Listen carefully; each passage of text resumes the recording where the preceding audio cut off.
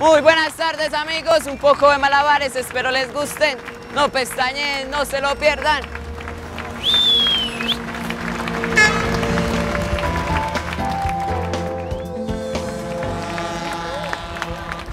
Bienvenidos al postre, el momento más dulce de las noticias.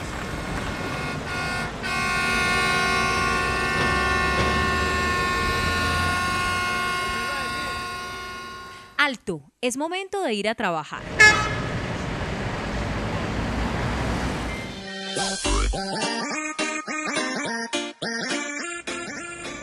Como ven, hoy el postre tiene un escenario natural, la calle, en la que día a día vemos a cientos de jóvenes en cada semáforo pidiendo una moneda a cambio de regalarnos un poco de su arte.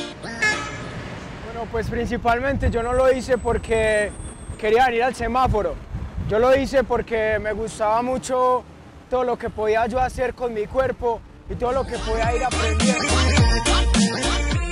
Estos jóvenes se reúnen diariamente en este cruce conocido como El Faro, que separa los municipios de Itagüí y Sabaneta. Sientan como con, como con esa magia, como con esa alegría, e- e- ese, ese salir de este estrés, salir de esta ciudad y meternos un poco en el escenario de la magia, del espectáculo y del circo. Aquí pasan la mayor parte del día tratando de conseguir su sustento diario, haciendo lo que más les gusta. Pues bueno, yo la verdad empecé una vez que salí de la casa y por X o Y motivo me tocó irme de mi casa y no tenía sustento, no tenía alimento y muchos de mis amigos eran artistas, malabaristas, montaban patinetas, hacían algo.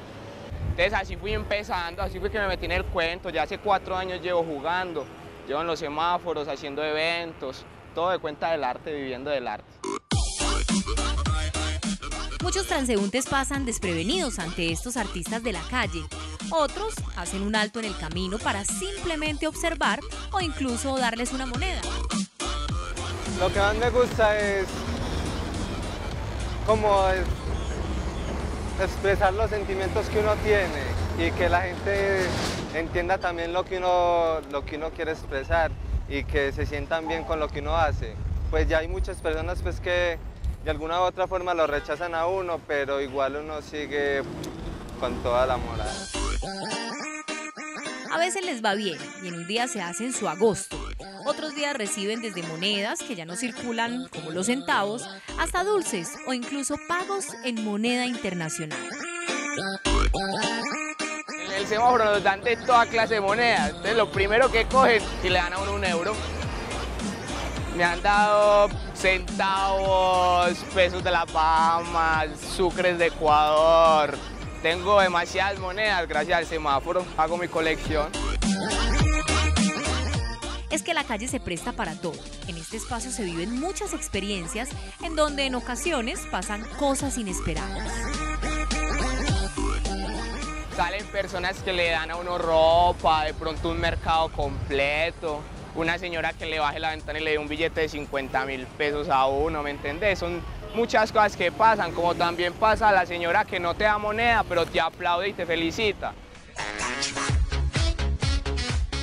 Así es el día a día de estos jóvenes que viven del arte, en un país donde este no es muy valorado culturalmente como en otros lugares del mundo, y menos cuando es hecho en la calle.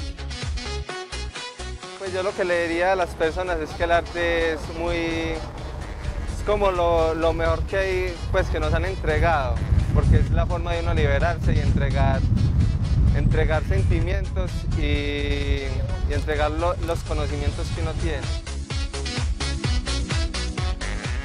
Vivir y sobrevivir a través del arte. A eso están acostumbrados estos jóvenes que todos los días se toman diferentes puntos de la ciudad para lograr captar la mirada de los transeúntes, que a veces desprevenidos ignoran el valor de su trabajo. Tratar de que vean el arte como un despertar de conciencia y de amor en el cual cada uno se puede encontrar con lo bonito de la vida que es nuestra esencia.